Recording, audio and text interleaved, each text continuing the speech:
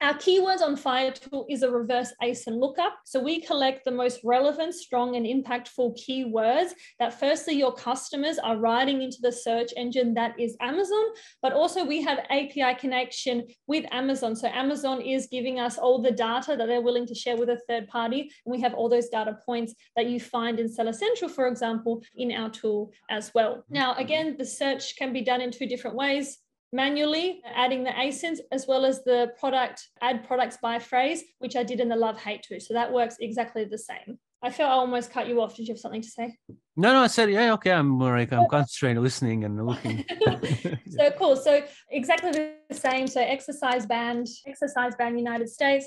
We collect the top 25 asins uh, select add product exercise band run session so that's done very easily. Give it a few moments to collect all that data points. When it is working, it's like so, complete. You press the I and it opens up to this page. Now, I want to point out that obviously keywords we know uh, are used at every step of your Amazon journey, whether it's validating a product, whether it's creating your listing, whether it's creating PPC campaigns. You need keyword information and then obviously reviewing the performance of what your listing and your products are doing. All of those data points can be found in this one tool. So you don't need to go anywhere else.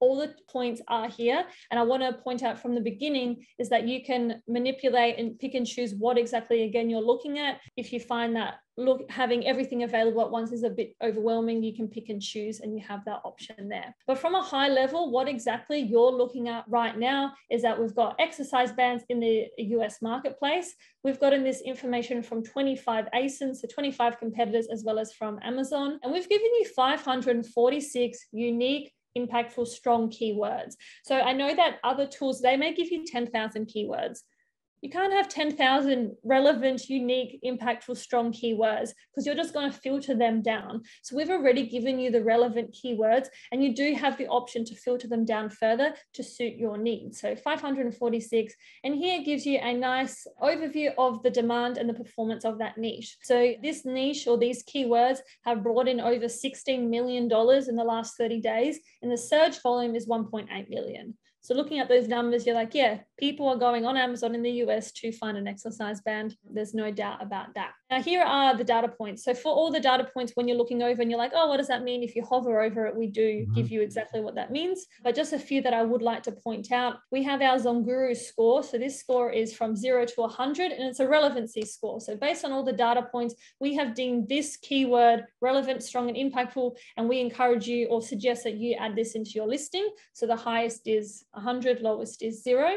We give you the keyword revenue. So the revenue that these that keyword or phrase is bringing in the mm-hmm. search volume, top 25 competitors. How many of your top 25 competitors are ranking in the top 25 for this keyword? So that's quite cool as well. Launch, this one, we're ready for it? The Zonguru launch is the number of units you on average need to sell in one day during your honeymoon period to rank in the middle of page one. Again, demand inventory management gives you a lot of information. Also, launch budget. Can how many are you buying? Are you buying 200? You're technically be gone in two days. Like so, it gives yeah. you a lot of information. We've got ratings. We've got our PPC bid. So this is directly from Amazon. So on average, if you're looking at PPC bid, I had a conversation with someone at an Amazon Seller Summit event in Sydney two days ago, and he was telling me that his PPC bids were between 10 and 20 dollars. I was like, really? I was like, are you sure? I was like, crikey. So obviously, when you're launching launching, you don't, unless your budget is crazy, that would be in my books a, a kind of a red flag to go mm-hmm. forward in that. But that's a, why it's cool to, especially during product research, you're not up to your PPC yet, but you have a glimpse of what those bids are looking at. And then we give you some indication of conversion and click rates. But here is one of my favorite views, and we give you a excellent overview of how your competitors are ranking for those keywords.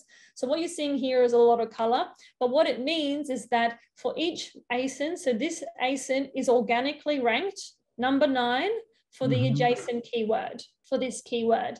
Now, the reason that is red or blue, a uh, red or green, sorry. So red indicates that they're ranked quite high.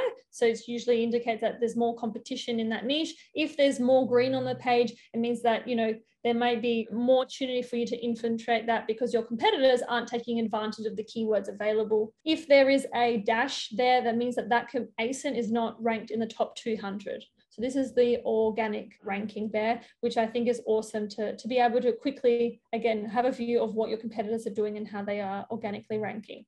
Now, Veronica, from these 546 keywords, right? That's as you mentioned, that's obviously less maybe than other tools sometimes give us, which can be like tens of thousands. Mm. But from them, we also need to pick the right ones. So, how do you think we should do that with the ZonGuru? What would you recommend, or how do you do that I always teach and I always say when you're looking at data, any data, go in with a question because if you just look at this, you're like, oh, there's a lot of numbers. What do I yeah. do with those numbers? So I always go, have a question that you need answered, then you know where you need to be looking. So mm. for example, for keywords, if I I'm going to create a bit of a, a long a long question so I can show you how in depth you can use filters to find the answer.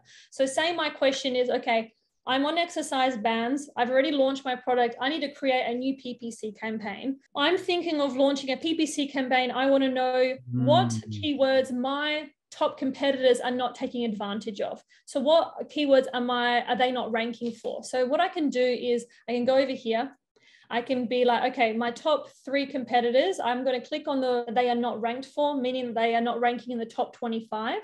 Okay. Mm-hmm. So as you can see here, I'm using these keyword, these ASINs, sorry. Now I've got 155 keywords. Mm-hmm. I want to go further into this. So I want to see, okay, they're not ranking for them, but do these keywords still have search volume? Is the demand of these keywords still there? I got a search volume. I can go to, you know, less than, equal to, or greater than.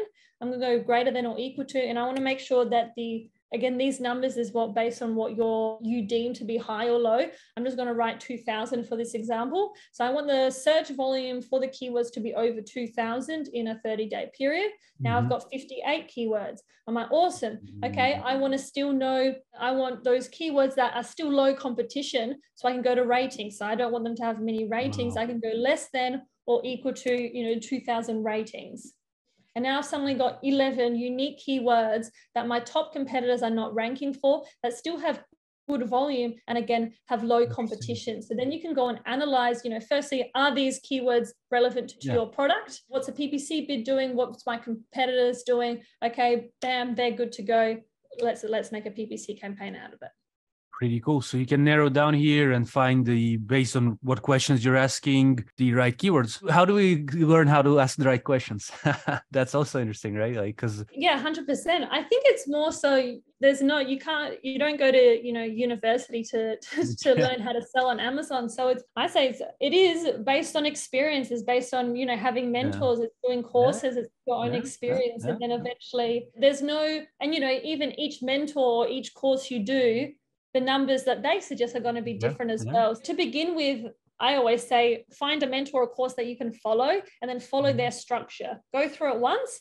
You'll learn a bit on the along the way, and then you're like, "Oh, I like that. I didn't like that. This person said this. I'm going to try this this time." So that would be my advice. Because yeah, what questions you don't know what you don't know, right? So you need to start somewhere, and I would suggest starting with one thing at a time, and then as you're, you know, growing experience and mm-hmm. everything mm-hmm. that you're doing, you'll know what you're doing.